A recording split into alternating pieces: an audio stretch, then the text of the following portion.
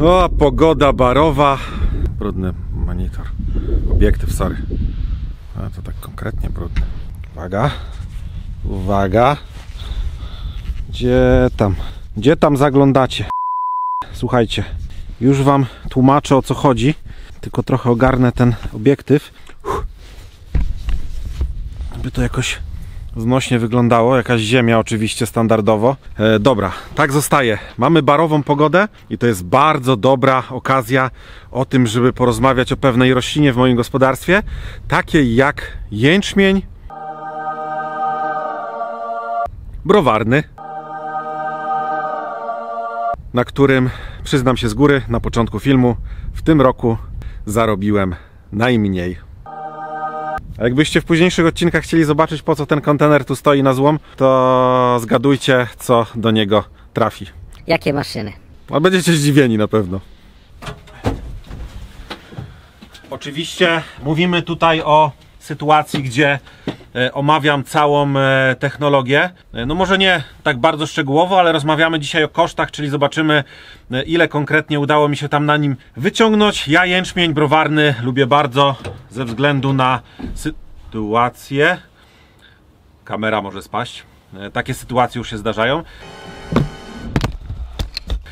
na sytuację, że tam jest bardzo mało zabiegów. Piękna sprawa, mało azotu, mało wjazdów.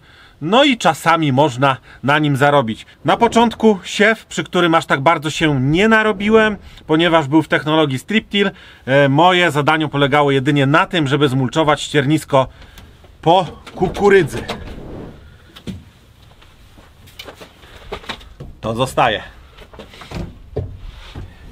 Pierwszy poważny błąd, który popełniłem, termin siewu. Mamy teraz e, około 15 marca. Dla mnie to już jest późno. Naprawdę dla mnie to już jest późno. W tamtym roku siewy zaczynałem już e, w lutym, pod koniec lutego i na początku marca. Słuchajcie, prawie 15 marzec to nie jest dobra pora na jęczmień browarny szczególnie, ponieważ wtedy nie mamy pewności, że wytworzymy odpowiednie ziarno z odpowiednimi parametrami na jęczmień browarny. Na paszowy spoko, e, może iść wszystko, natomiast nie browar. E, Pierwsza rzecz, drugi plonowanie. Tutaj każde opóźnienie wiąże się z tym, że spada nam plon. Poprzednie lata siewy w lutym nawet 8-9 ton jęczmienia browarnego z parametrami, to jest petarda w ogóle, a musimy pamiętać, że to jest uprawa, która potrzebuje tylko załóżmy 50 kg w czystym składniku azotu. Więc to już jest grubo. Patrząc na naszą okolicę, na ten rok e, mamy pod kątem terminów e, osoby, które e, siały w naszej okolicy, ze stycznia jęczmień plonował gorzej niż ten w lutym, ale lepiej niż ten w marcu. Czyli można powiedzieć, trafiłem na najgorszy możliwy termin pod kątem plonowania. Sytuacja jest bardzo prosta. Im dłuższy okres wegetacji, e, tym można uzyskać lepsze plony z jęczmienia. Jeszcze coś nie gra. Ja się boję, że ja tu się będę nagrywał, a to się nie, nie zapisze. Znaczy zapisze się, ale będą takie zamazy. O kurde. Kacper. Wszystko na Kaspra zawsze. Nieciekawie to wygląda. Chyba muszę zawinąć się z tego pola i trochę ogarnąć obiektyw, bo. bo. Złoto. No złoto jest. Teraz jest złoto.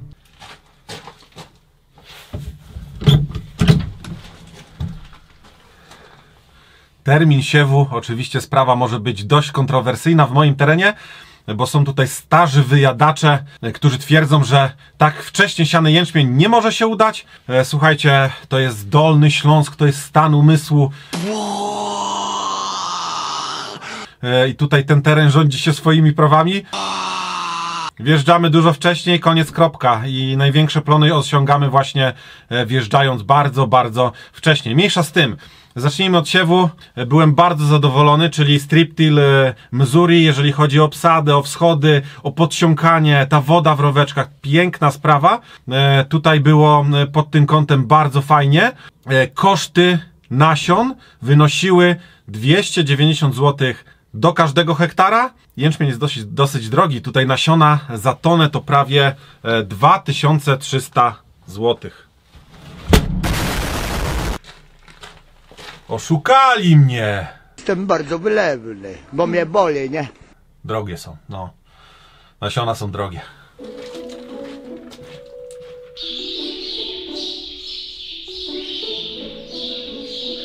Jakie piękne dźwięki. Teraz już pójdzie nieco szybciej.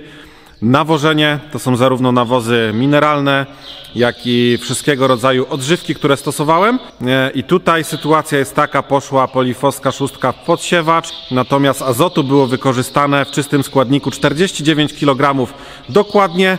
Koszty, jakie poniosłem na nawożenie, to jest 605 zł do hektara.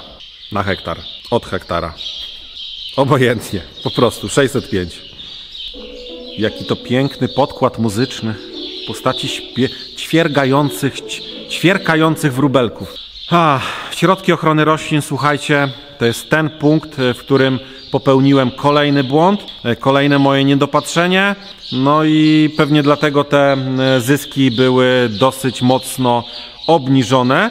Jęczmień to jest taka uprawa, która tych zabiegów, y, w której zabiegów stosuje się bardzo mało. Zakładając, że robimy sobie nasiona na systiwie, odchodzi nam T1 w ogóle, podchodzimy do te dwójki obowiązkowo, są robaczki, e, są chwasty, jest skracanie i można powiedzieć, że bardzo często na tym się kończy cała zabawa. Natomiast e, w tym roku fuzarium.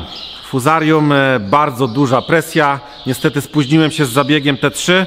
No i moje nasiona, które, moje ziarno, które miały być browarem, niestety tym browarem nie zostało.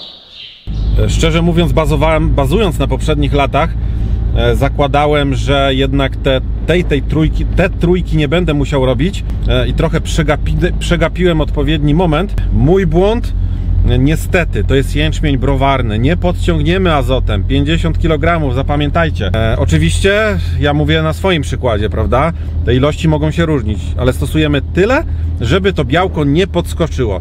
I tym oto sposobem sprzedałem jęczmień na paszę, a koszt wszystkich środków ochrony roślin wyniósł mnie 510 zł.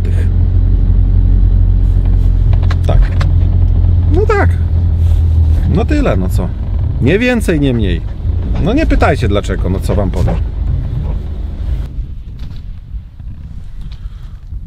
Dalej mamy całą uprawówkę, e, czyli siew, czyli mulcher, e, czyli opryski, czyli nawozy, czyli zbiór. Koszt, jaki tutaj poniosłem, to 1025 zł.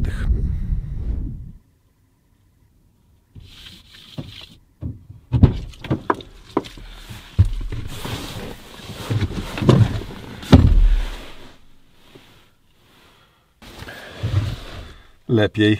E, słuchajcie, pozwólcie, że już karteczkę wezmę sobie. E, podsumowanie całościowe tego, co mamy e, zrobione.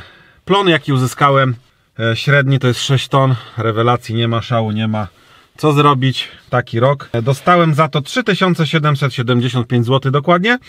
I teraz odejmując wszystko od tej kwoty, e, 2900 nasiona, nawozy 605, środki 510, uprawy 1025, mamy 1400 1345 zł z hektara. Odejmijmy od tego jeszcze KRUS oraz podatek rolny.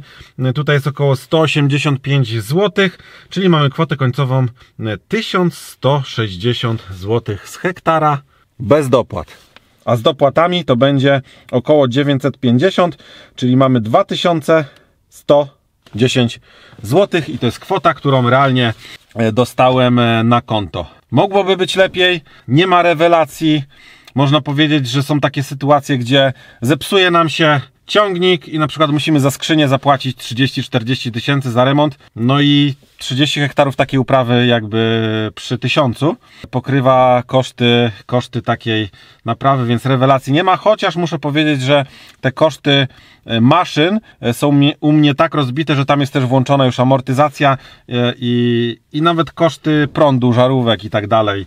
E, Nie będę się tym zajmował. Ogólnie e, te wzory to są takie, żeby to wszystko e, pojąć. Teraz miejmy nadzieję, że jakoś stąd wyjadę. Szyby mi parują. Wjechałem w takiego polniaka, mamy tu napędy włączone, chyba pójdzie. Chociaż tam się pulpał trochę. Słuchajcie, no to by było na tyle. Bardzo dziękuję za uwagę cofając autem. Powiedzcie mi, jaką teraz byście chcieli e, uprawę, żebym wziął na tapet tak zwany. E, Została pszenica, został rzepak, została kukurydza. No i przedstawił to na podstawie swojego gospodarstwa. Co tam mi najlepszego z tego zostało. Dziękuję za uwagę.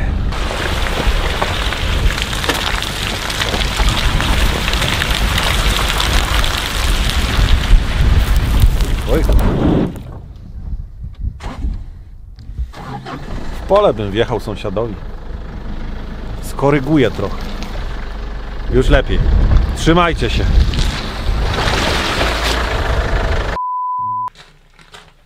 Oszukali mnie. A to k***, dykty ciężkie, k***, obijają.